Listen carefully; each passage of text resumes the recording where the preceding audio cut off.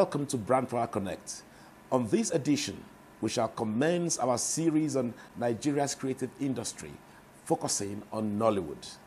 My guest is an eminent Nollywood personality whose career trajectory has made him an award winning actor, director, producer, and international motion picture consultant. It is my great pleasure to welcome Francis Onwochei.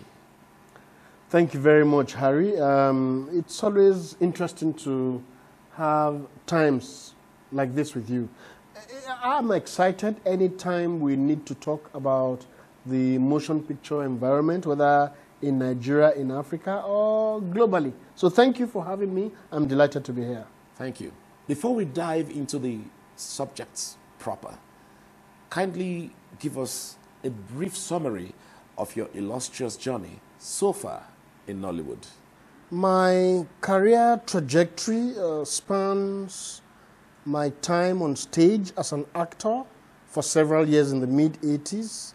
And of course, at that time, also, I was engaged in various television uh, works. Um, and I discovered early, early enough, that one needed to build capacity and develop different skill sets that will that will become very useful over time. And fortunately, um, when the emergence of Nollywood came, um, I found I found it uh, a good space to operate in the environment. Can you also take us through the various milestones in Nollywood industry? If you track back to history, you will realize that filmmaking in Nigeria actually dates back to uh, the, the 50s when um, Johnny Fogali Amata, who is Fred Amata's father, by the way, um, in collaboration with a few foreigners, they made the film Freedom. Those are, those are important areas. Then, of course, you track back to at the time where the Ogundes were very critical in our environment, making Jaiyesimi, making Aye, and fantastic plays. Then Ola Balogun, Babasala the, the, the, journey moved fast up, up till even when Wole Soyinka made the film Kongi's Harvest in, I think it was 1972. Then it grew, it continued to grow until the structural adjustment uh, program introduced by um, President Babangida. Uh, at that time, they could not make films in that format anymore, and everybody, everything actually, as a matter of fact, in the economy nosedived it gave opportunities for different kind of emergence in the Nigerian motion picture environment, which gave birth to Nollywood.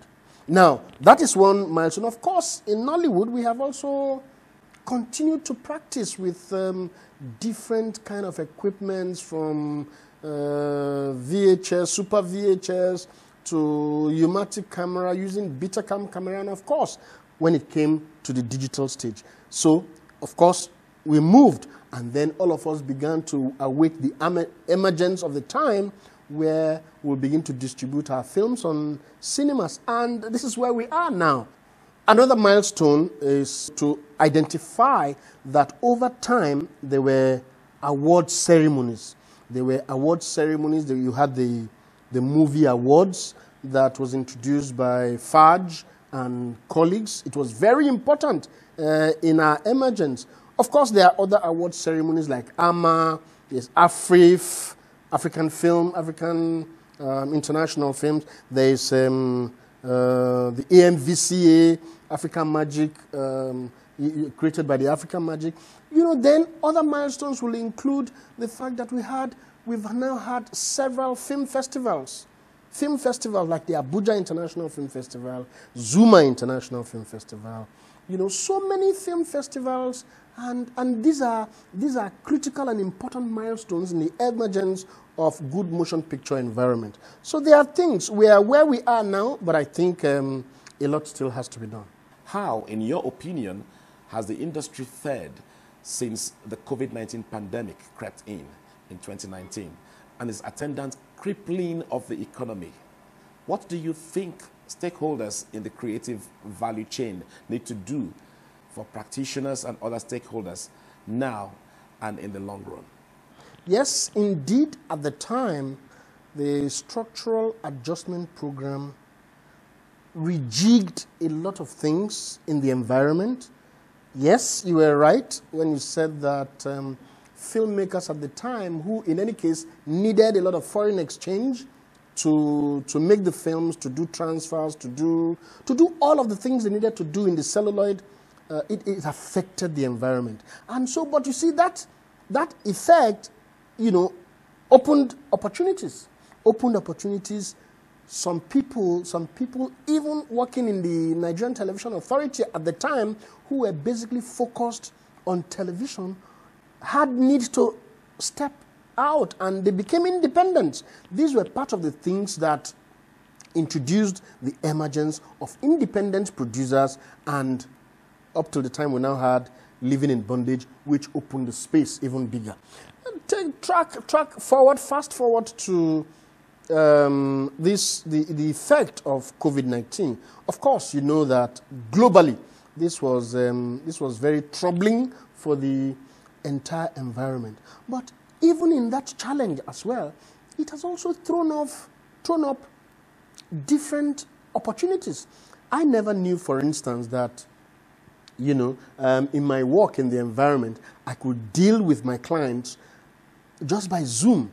We ha we've had We've had very important meetings just by Zoom. I didn't need to go out of my office, and, and things seemed to have worked. You will know that in corporate environments where you needed to also stay and have meetings, you could do some, people were having proper board meetings on Zoom. So it opened its own, um, its own opportunities. Now, that tells us that we must, we must wake up to accepting the emergence of the digital stage. A lot of things have gone digital. And in fact, if your business, if you're, you are running a business and you have not thought of digitization, then you just know that you're having a challenge. Quickly attach that to a digital switchover that Nigeria is still struggling to adapt, you know, um, internationally. When the digital switchover becomes, becomes important, I mean, and I'm looking at next year, you will find that there will be more and more independent producers, more and more television stations. You can, in a room, have your own TV station, have your niche programs. Everybody will, everybody will decide the kind of programming they want to do, and then have a particular target. People who those are those are opportunities. So what what we need to do as a people, as practitioners, is to be able to develop our capacity, build our capacities in different areas of the trade. There are, there, are, there are ways to improve, there are ways to grow in your skill and development. Yes, and finally, also, um, it opened us to the likes of Netflix, the likes of Amazon, the likes of Hulu, the likes of HBO. We knew now that a lot of attention is placed on sitting down in your home, sitting down in your office, and then get the public. Once the public buy into your idea, once the public like what you are doing, they will key in onto that space and um, everybody will become happy. As a celebrity with huge following across Nigeria, Africa, and even beyond, do you think top Nollywood practitioners like yourself are doing enough to influence positive attitudes towards nation building and progress among citizens and leaders alike? We can do better. We can all do better. Uh, you know, uh, as practitioners, I think um, a lot of responsibility is also on us because we have huge following across across board, and so we we know that the tendency is high that the people will listen to us. But unfortunately, in the space that we are operating, we are doing less and less of the interventions that were necessary. Um, and, and, of course, this also affects the general political space. You will recall that even in Nigeria here, at a point, um, very serious contestants, when you, are, when you perceive yourself as uh, you know, a serious person, you will say, oh, politics is um, not something to delve into. But we have learned over time that once you ignore it, you will have other people who are not, um, you know, ideal leaders come into that space and determine your own future. Therefore, I'm saying that practitioners like myself and a lot of other people, we need to do more. We need to constantly engage in the affairs of the country. Um, this is the only country that we have, at least for now, and therefore we must we must be proactive. We must do a lot of call to action so that people who follow us, people who, who listen to the things we say, will also understand that there are things we all need to do. Listen, we are all we are answers to the prayers that we seek. When we ignore it, once we ignore it, then you cannot affect the space. So we must put our attention in nation building. When we put our attention to that, it will affect the general space and the practice will become better for all concerned. No doubt, Nollywood has come a long way, but critics believe that there's a lot of upskilling and scaling up to do in the various departments of Nollywood to take it to even greater heights. Can you give us a three minute blueprint for making the perfect Nollywood blockbuster? I believe a lot that um, story, the number two is story, and the number three is story. What do I mean? A lot of the things will depend on the kind of stories that we tell. We must constantly engage the public with good storytelling. And good storytelling comes with a lot of attributes. What kind of characters are you creating? What kind of dialogues are you giving them? What kind of space are they operating in? What kind of, what kind of emotion, what kind of empathy do you want the audience to follow? You know, when, when you are fully done with your story, and that takes quite a long process, that takes quite a long process, story writing. When you are fully done with that, I think, I think people need to producers, filmmakers need to focus a lot on project development before even going into that space. And I'm saying project development in the generic sense. It is project development, is project development, whether in the health sector, whether in engineering, whether in advertising. You must think your project through from beginning to the end. You must see the, the end from the beginning. And so, any area that you ignore can bring down the value of your project. And so you must take it gradually. What are the kind of actors you are using? Why are you using them? What are the kind of equipment you are using the film? Why are you using them? What are the kind of crew? What, what's your perception of the cinematography? What's the design of your film?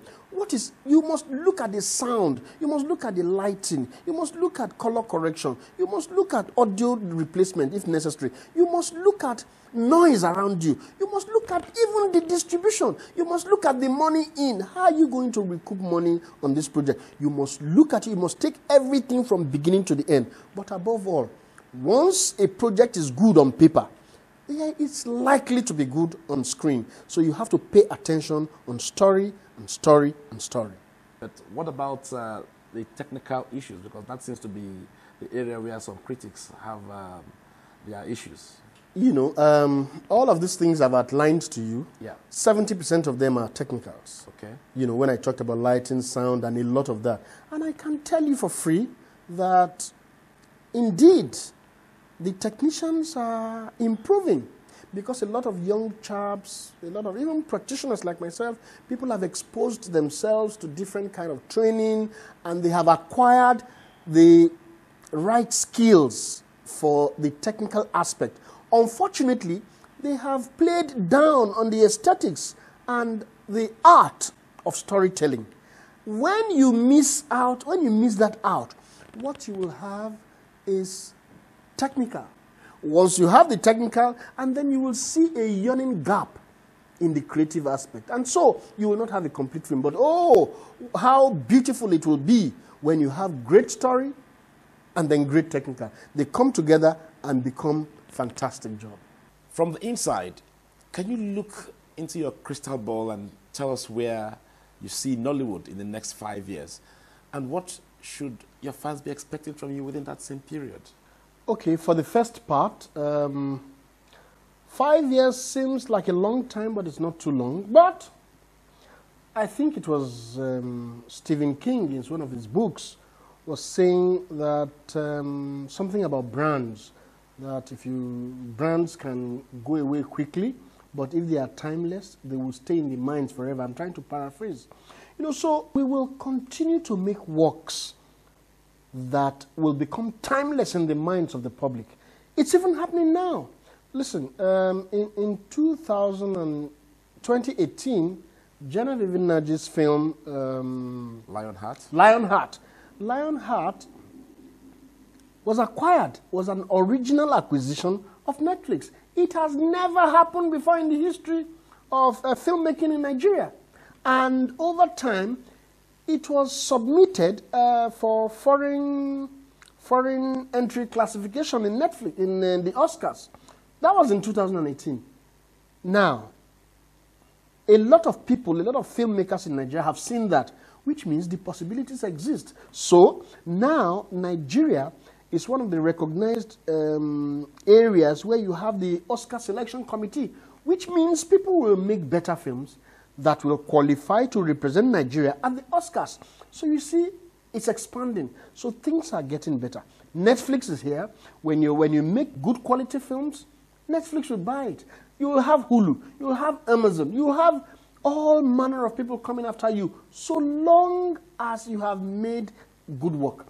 So, so in the next five years, I see Nigerian producers up, upscaling, doing better work, and having possibilities, endless possibilities, making timeless projects. For me personally, I am also going to operate in that space. Right now, as I speak to you, I am working on a film project that will meet some of these um, uh, possibilities that we have talked about. So I'm working on a project and I, I trust and I assure the audience that it will be something to really, really talk about in Nigeria. On that note, um, it's really been very, very illuminating talking with a first class thespian, a first class director, a first class producer, uh, Francis Onwochei, fondly called Franco Che by his friends and fans in the Nollywood. Um, we want to thank you for coming around to share your thoughts and your expertise with us. And uh, I want to assure you that I'm one of those fans who'll be looking forward to your project that's about to hit the screens, so to speak. And of course, we look forward to a greater Nollywood in the years to come. Thank you for coming around. Thank you. Thank you, Nanke Harry Willie. I am delighted every time that we have opportunity to talk about issues that will make better the space, it's, it's always exciting for me. So thank you for having me, and I promise you, Nigerians in the creative business will continue to do good works that will entertain you maximally. Yes, I hope you enjoyed our time with Francis Onwochei. We want to thank you very much for spending your time with us, and we look forward to seeing you very soon. Remember to always keep connected with Brand Power Connect. Thank you.